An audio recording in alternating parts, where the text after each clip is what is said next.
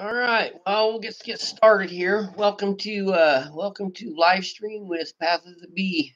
I'm Charlie, and uh, we're trying to figure out how things work here. Get my camera adjusted, and uh, that sort of thing. So, if you have any questions, please let me know. That's what this is going to be all about. Um, I've got some questions. I've received some questions on uh, on some video comments, and I think I'll start off by answering some of those. The first one that I have that I think I'll address is feeding bees. So um, I've got some questions about do I feed syrup and and that sort of stuff. Yes, I do. Um, I feed bees in the spring and in the fall. Um, in the spring, I start feeding as soon as I have three days with the temperature up above around 50 degrees and uh, and when I get three consecutive days, of 50 degrees, it's still freezing at night, but it warms up to 50 and they're flying. That's when I feel it's time to go ahead and, and start feeding. That early in the spring, um, I've traditionally fed a one to one ratio to the theory is to stimulate um, brood rearing and, and, get the queen laying. But the more I examine it, the, the more I'm kind of coming to the conclusion that I like a two to one mix all year round um, for feeding bees. seems to work better. They don't have to fight as much moisture in the hive that way. Um, all right, hey, thanks for. I'm just using a laptop camera. This is uh, I've got a question there. This is just an Acer with a laptop, and uh, when I film with my camera, my videos, um, I have a, uh, a Sony Handycam, old older one when first model it came out with, kind of nice. And I finally figured out how to build a dead cat for it for that wind noise that we had an issue with a little bit ago. We got some fuzz kind of rubber banded to it, and so that helped a lot. Editing software I use on my um, videos is oh, I can't recall the name of it right now. It'll come to me in a moment. Um, here, let me let me look. How's that sound? It's uh, it's CyberLink Power Director is what I use, and uh, I did buy the upgraded version a little bit so that I could mess with uh, video speeds. You'll forgive me. I'm going to be a little bit neurotic right now. There's a crop duster outside my house, and so I'll be looking around as the plane is crashing. so, anyhow, um, there we go. And uh, the next, uh, so I guess I'll continue on this feeding thing. I've got that. Thanks, Scott, for the question.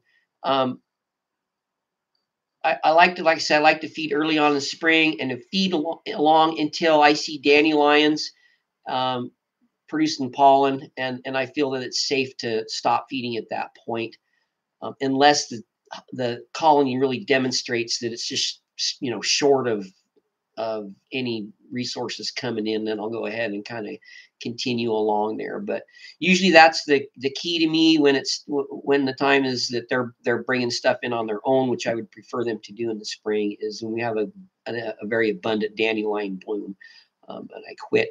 Then uh, traditionally in the fall, um, as soon as I've done feeding bee or uh, harvesting honey, um, I'd like to go ahead and start feeding. Um, not really hard, but just kind of a steady, regular. I, I just want to get that built up. So I try to have my honey off by about 15th of August and start building them up for winter at that point. Um, talking about feeders, I've used uh, I've used Boardman feeders. I've had a little, I messed a little bit with those frame ones. Some people really like them. I decided I really don't like them. Um, I've had good luck with Boardman feeders which are the ones that stick outside and you put the upside down mason jar in with the little holes punched in the lid and everybody's like, ugh. Um, they work really good. And uh, the trick to making the lids work, if you're um, if you're a member of Beesource or, or or even know what I'm talking about, just get on the internet, type up Beesource, get on their website. And on Beesource, if you look in the archives, uh, there's a man by the name of Walt Wright um, he, he passed away. I, I was visiting with him on there when he was still alive, but uh, he was a rocket scientist. He retired and decided to start keeping bees. And so he, he's got the rocket science on how to make those lids work in his uh, in his archived articles there on Beesource. I read what Walt has to say if you want to, you know, increase your beekeeping ability. Um, like I said, he was an honest to God rocket scientist, and then when he decided to retire, he became a beekeeper and put all of his inquisitiveness into discovering what he could about beekeeping, and it's a wealth of knowledge. So, um, so that's the deal with the, you know, check your lids if they leak and drip, change them out, uh, make them get the holes smaller. Uh, it's it's it's well worth it. I built a tool to build my own lids for the mason jars, and I use uh, just a regular mason jar lid, and then the tool is a is just a tube that a nail will fit through and barely poke out, out the end, and then I sharpen it and keep sharpening it until it's small and just poking out the end. And I can put the tube on the lid on a block and tap it with a hammer, and it'll poke just a little hole in there. If the hole's too big, I can grind just a little bit more on it and make the hole smaller. And then once it's once you've got that the right size, you can just sit there and punch, you know, 10 holes in that lid like in no time flat and they're all the right size there and they work really good. Boardman feeders work really good. Um, in combination with an entrance reducer, I don't have robbing problems um, with them like I hear people talk about.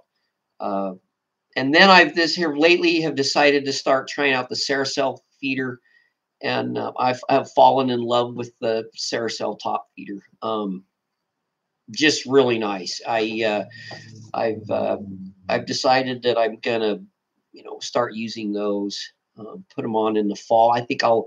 I took mine off last fall, um, and uh, but I think I'm gonna. I think I'm gonna leave them on year round now. Um, run, them run them dry late in the fall, and then if I had an emergency feed dry sugar in the winter, I can just pull little uh, pieces, plastic pieces out, do that. Spring they're already on there. Put the little uh, safety pieces back in and go back to feeding um, uh, sugar sugar syrup in the in the spring, and uh, you know that that would go you know really well type of a thing. Um, one other thing I guess I've discovered about uh, feeding, I, I'm trying to think is, is that the the two to one, mixing your sugar up two to one, getting a two scoop this that whatever. So what how I do it, and it's it's a little trick I learned. Um, whatever container that you're going to mix your stuff in, just put your dry sugar in first, get it level, make a mark, get your hot water, fill it up until and mix it until the mixed up liquid syrup matches the same level that the dry sugar did in any size shape container. That's two to one. No measuring needed. You don't need to measure anything. Just just mix the syrup to the same level as the dry sugar and you've got two to one. And it works really good for me that way. Uh, when i'm doing larger batches of sugar syrup i can you know mix up five gallon buckets or you know sometimes i do i have tried some open feeding in the past and that kind of works but you end up feeding the neighbors bees too um, and i've used uh, you know 30 gallon pails and mixed sugar and syrup in those before also um, let me read here Scott, you say uh, have your syrup make sense to you, okay? And then what's the benefit to feeding after pulling honey versus leaving? Well, um, so I, you know, harvest my honey in uh, our our honey flows end, you know, like your our fall honey flow ends July 15th of June. I've had I've got everything off, and so I'm starting to feed for winter then. Um, and so they're still gathering natural honey, and in that feed that I put on, they're not really they're not really going to bite into unless there's a dearth and then that'll keep them kind of in the process of, of packing stores in. Um, and then we'll catch uh, rain showers in, you know, late August, early September that will get our fall honey flow going, hopefully. And, but we run out of time to dehydrate stuff and get things put away. I like to give them that little bit of extra time to get filled up. Then, then, uh, everything's dried down. They're all stored up. They've got their brood nest figured out what they, you know, I don't want to I don't want to have to late fall pound pound the um, feed in so hard to plug up the that winter brood nest. That's I I, I want to avoid that, I guess. I want every I want it to be this gradual build up um, for uh, for the for that. It, it, does that make sense? What I'm trying to say? I, I hope it does. That I don't want to. I just don't want to plug the brood nest too quickly um, because I do want those winter bees uh, to hatch and, and, you know have as big a nest as possible. But I want them to to have that feel comfortable with that resource. There we go. Okay, and uh, what else did I have on feeding? Um,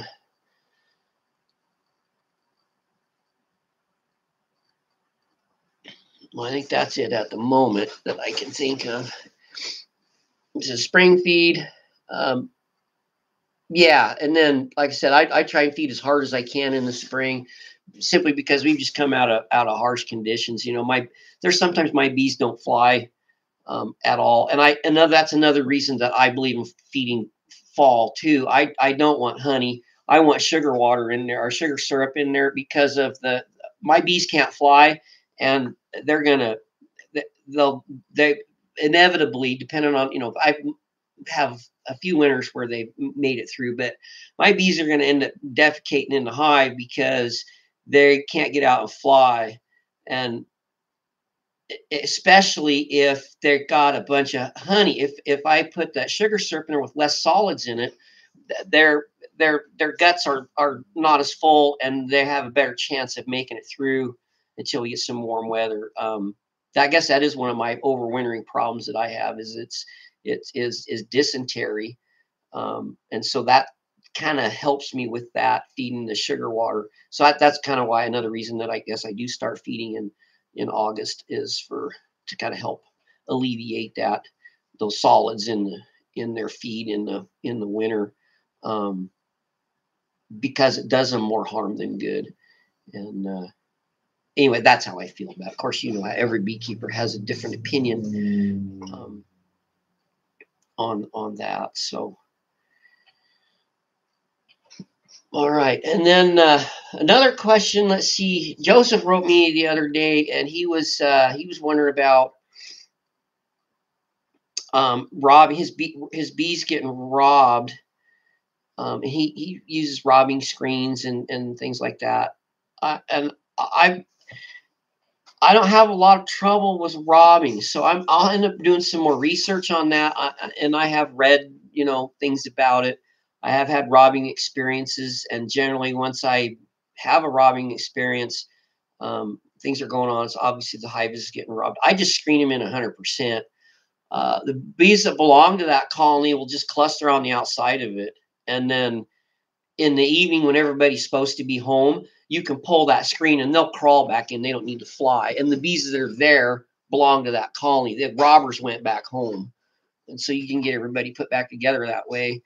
Um, I'm hoping that kind of answers a little bit of Joseph's question. And I'll type I'll type that out to uh, an official response to him because I don't know if he's on here or not, but, or or we'll see this. But um, so so that's kind of uh, kind of uh, my big big screen where I can see with my glasses is over here. That's why I'm always looking up over here instead of at you guys. Um, so, all right. Um, I guess uh, I guess I don't really have. Oh, I, today was of this weekend, really hectic weekend. Uh, Dad's auction preview. Uh, Friday auction Saturday rained on us. Everything turned into a muddy mess people got really good deals. It was a wonderful time. I had fun pulling people out of the mud with my tractor. Um, it was it was an enjoyable experience, but and very very busy. And today has also been very busy loading people out and uh, and getting some things put away and that sort of stuff. And I have not managed to get by and see my honeybees today. Even I was gonna try and pull a frame of honey out, see how much nectar they hopefully put in by now a little bit and uh, but I, I didn't get that opportunity.